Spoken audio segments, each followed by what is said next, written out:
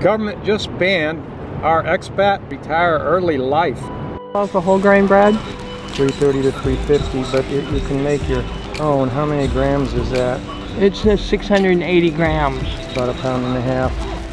So I mean, the cost of wheat on there is like a on that is like a quarter, right? So you make your own bread, and then it's not in all cases where when you make your own, it's going to cost more. In a lot of cases, when you make your own, it costs a lot less, and yet it's still healthier. In this Mhm, case, this that's is right. This is healthy bread, but you get charged so much more of a premium for somebody else doing all the work. You know, baking it, slicing it, packaging it, promoting it, paying for the advertising. That's what you're paying for. We were saying that I can make three loaves of bread that big for that price of that uh, $3.35 loaf.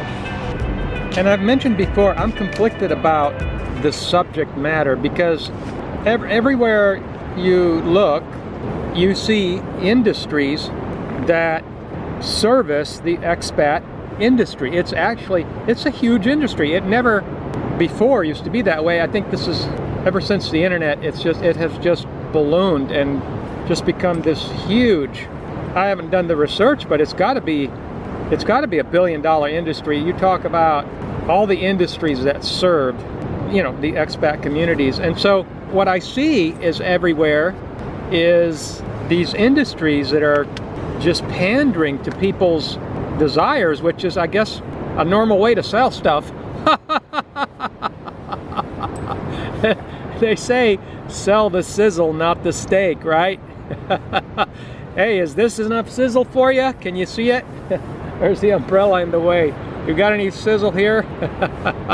but uh, no, we can't kid around about this. We enjoy being abroad. I mean, I mean the whole idea that we're sitting here making videos while we're at the beach, and at the same time, it seems really like you get the feeling that you're sitting here at the beach while you should be like raising food and stuff. And so I went fishing.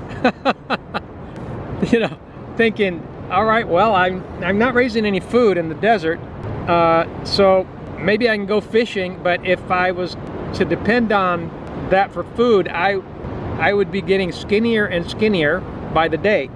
But that's just because I'm new at it, and so there's always a hope that I'll get better at it.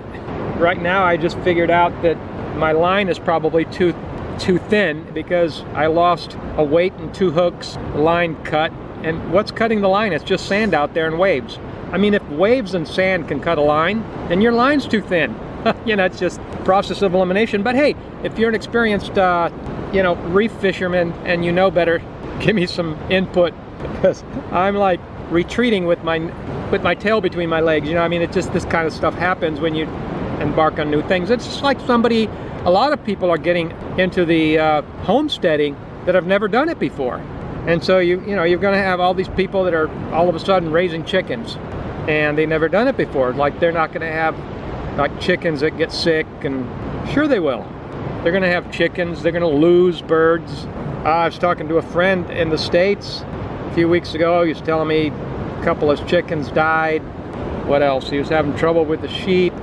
So it's always something. But at least when you're homesteading and preparing instead of sitting on the beach, you have backups. You can set yourself up with backups for your backups. So maybe a couple of chickens died, but you've got 20 chickens, so you still have 18 chickens. Does that make sense?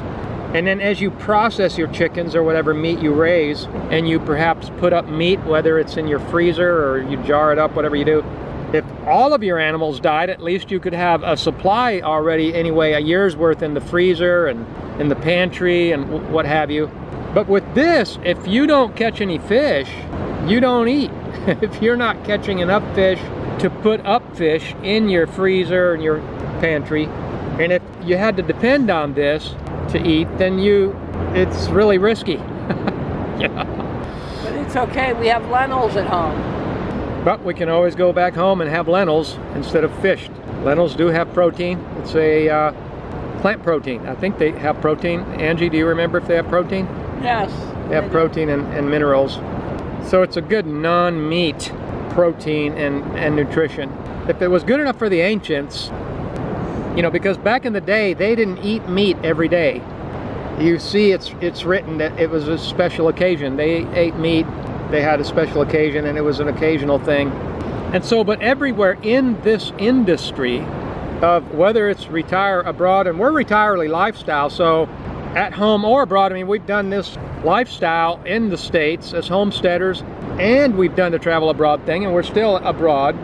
And we're just seeing these industries that are just pandering to people's hopes. And I'm a person that wants to keep his freedom. I'm not going to sit here and give away my freedom just so I can travel. You, you look at Ecuador, Ecuador has practically, Ecuador has literally banned us from being able to reunite with our family in Ecuador. They have literally done that, and they're still doing it. And so we're not like sitting out here because one might get the impression that we're just sitting here with no cares in the world, nothing's happening in the world, no worries, no concerns over personal liberty. Well, that's just not true. So we haven't found a home yet. You know, it's like you get caught.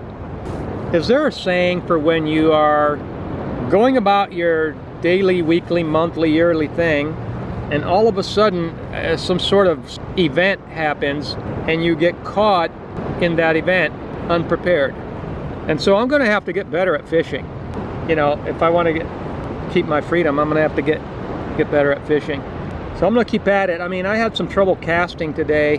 I didn't know I was letting the line loose too early and it was I'm trying to cast in front of me so that the, the hooks can be cast out into the deeper part of the ocean and, and it was just going to the side and I was letting it loose too soon and all that. I was watching some videos about people fishing and specifically I was watching somebody teaching someone that had never done it before and he told her to wait and let let the line loose a little later so that it can get the forward movement of the casting. So, but anyway, without getting into the intricacies of fishing, because it makes you think, you know, the ancients, they, way back in the day, at some point, people started, you know, there, there's a school of thought that says that people were a little bit more nomadic, but I'm not sure at what point that would have been, maybe way, way before, because there's written evidence that shows that people had animals, they had herds, and they had, you know, they, they kept animals, and they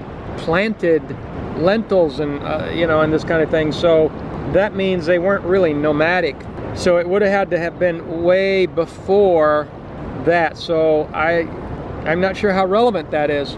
Because even in the days of Abraham, even Abraham bought a lot, went somewhere where things were relatively peaceful and, and you know, and that's what people are looking for when they go abroad. They want to find that area where things are peaceful and they can keep their liberty and enjoy life. And I don't know what's going, you know, I mean, you know what's what's happening. And I know that people are hopeful that things will go back to so-called normal, but I'm looking at Ecuador and saying they're still doing it. It's been a, over a year now and I still can't go and visit my family in Ecuador. It's been, it's going on a year and a half. And so in order to avoid disappointments, we need to not have expectations that are beyond our control. You know, we can't control what some of these governments are doing we have to set ourselves up in such a way that it won't make our life miserable. And being banned from your family, that's, you know, that's that can be rough. That's that is rough. That's really rough. That's un, actually it's unacceptable. It's you know, it's like, well, I could I could go on and on in a different direction on this, but you know, it's like governments are instituted among men to secure these rights and liberties. You know, that kind of thing. See, and you're seeing these articles like in. Uh, publications that are actually supported by industries that benefit, you know, it's like that just screams red flag to me of uh, vested interest. And it, you know, and it's got these articles where it says that, you know, expats, people that are traveling, they they're more concerned, you know, there's there's more concern about being stranded and stuck, not being able to visit family, but at the at the same time they're you know, they're adding articles that saying that, you know, people are uh, feeling better and better and, and still traveling and, and, you know, and that, that they are hopeful that things will get back to normal. And so it's a, it's, it's, it's this dichotomy thing going on where it's like, I'm banned from reuniting with my family in Ecuador. I'm banned, that's a fact.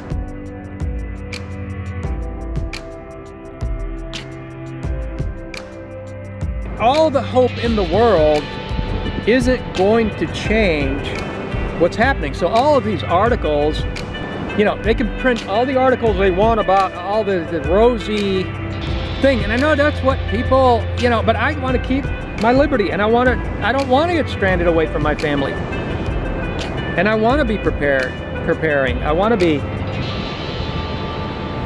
putting away a year's worth of fish. Maybe that I didn't catch.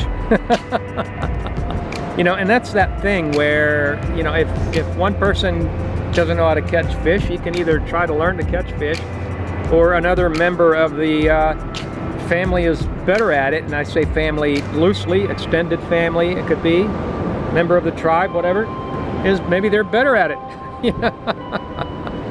but I'll keep trying. I'll let you know when I finally catch some fish. I hope you got something out of that. Thanks for coming to the channel. Have a wonderful day.